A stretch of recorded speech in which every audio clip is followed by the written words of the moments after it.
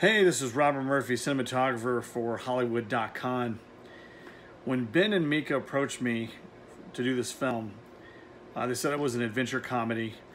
And let me just tell you, the making of the film was an adventure comedy.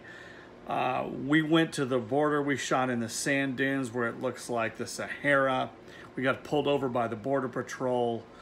We crossed the uh, Rio Grande in a crazy adventure sequence with a train running overhead.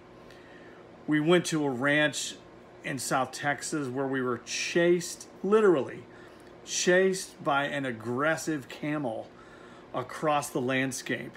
I thought I was going to get killed or eaten by the camel. Somehow we survived.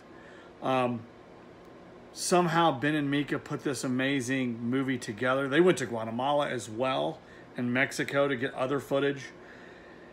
Ben himself built between 30 and 40 sets in the backyard of his own house to make this movie come alive. And the sets look fantastic.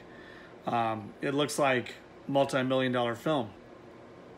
So all I can really say about this movie is it's one of a kind. I've never made a movie like this. There will never be another movie like this. It's crazy, it's weird, it's funny, adventurous. Mika is hilarious as the lead.